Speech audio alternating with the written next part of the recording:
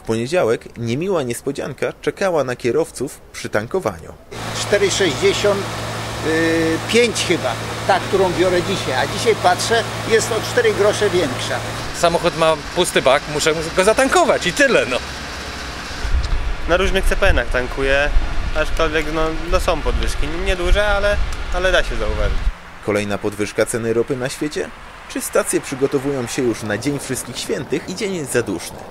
Wtedy większość z nas wsiądzie w samochody i będzie chciała dojechać nimi na cmentarze. Specjaliści przyczynę widzą raczej w tym pierwszym. W okresie letnim, e, czyli jeszcze, jeszcze kilka tygodni temu, e, ropa naftowa, czyli taki wyznacznik, podstawa do ustalania cen e, również na polskim rynku, kosztowała 70-70 kilka dolarów, a teraz jest to już 85 dolarów mniej więcej za, za baryłkę. Polskie firmy dostosowują swoje cenniki, najpierw hurtowe, a potem także detaliczne, do, do ruchów na, na rynkach międzynarodowych, więc musiały, musiały swoją ofertę podnieść.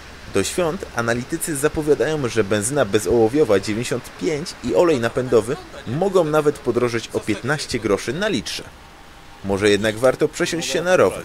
Wtedy na stacji zatankujemy zawsze za darmo, ale sprężone powietrze.